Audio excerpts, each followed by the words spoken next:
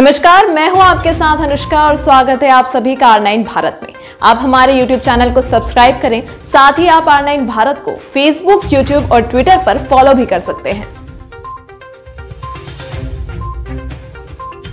जिला स्तरीय जन संवाद कार्यक्रम का आयोजन ग्राम पंचायत संधिया आरा सदर भोजपुर के ग्राम छोटकी संधिया में आयोजित हुआ जिसकी अध्यक्षता मुखिया हरेंद्र प्रसाद यादव ने की।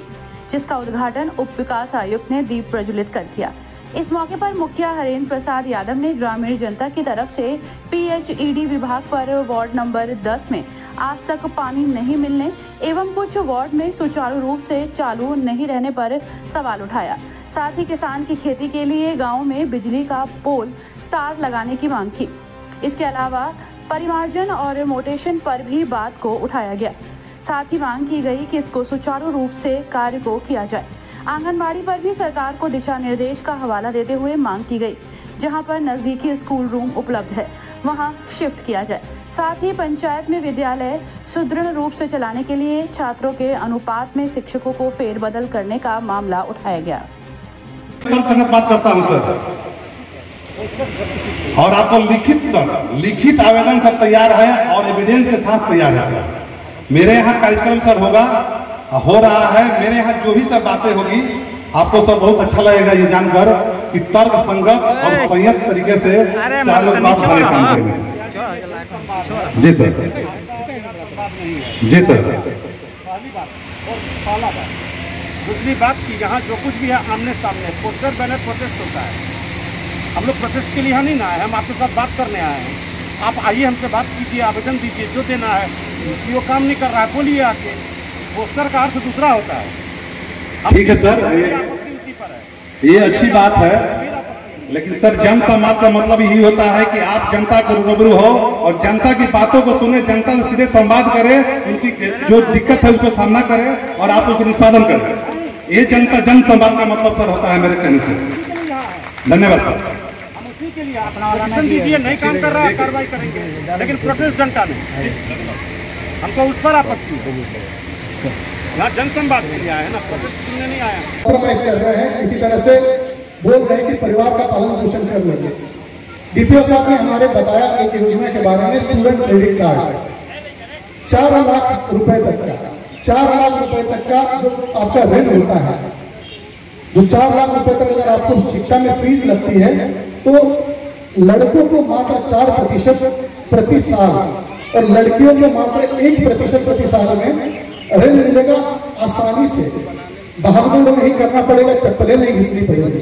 फॉर्म भरना है डीआरसी से एक बार चला जाना है, दूसरी बार अगर जाना पड़े, मुखिया जी को बोल दीजिए। मुखिया जी हमको बता देंगे, हम लोगों को आपके घर के भेजेंगे उससे भी अगर नहीं तो ये जिला प्रशासन का ज़िम्मेदारी है, ये देखना है कि आपका बच्चा कैसे पढ़े।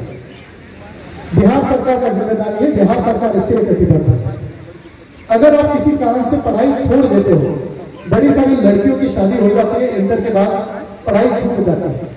साल दो साल लगता है, ये सोचने में परिवार को बनाते बनाते कि हम फिर से पढ़ेंगे या फिर रोज़गार करेंगे। बड़े सारे बच्चे होते हैं पटना जाना पड़ता है, मुजफ्फरपुर जाता है, बनारस जाता है, लखनऊ जाता है, दिल्ली जाता है, मुंबई जाता है, परिवार का पालन पोषण के लिए। ऐसे बच्चों के लिए भी सरकार ने सोचा, माननीय मुख्यमंत्री जी ने सोचा और एक योजना ला दी थी अगर आपका इंटर के बाद पढ़ाई छूट जाता है किसी कारण से तो आपको हर महीना एक हज़ार रुपये मिलेगा।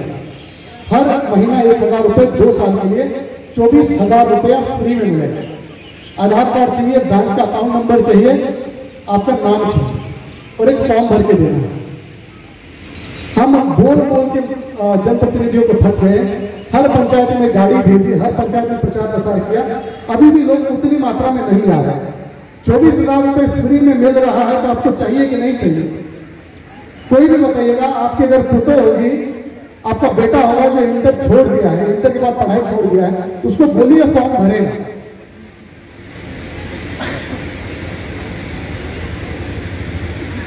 एक आखिरी योजना के बारे में श्रम विभाग में भवन सन्निर्माण बोर्ड होता है।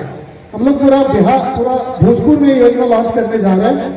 शुरुआत आपके मुखिया जी आपके पंचायत से ही करेंगे।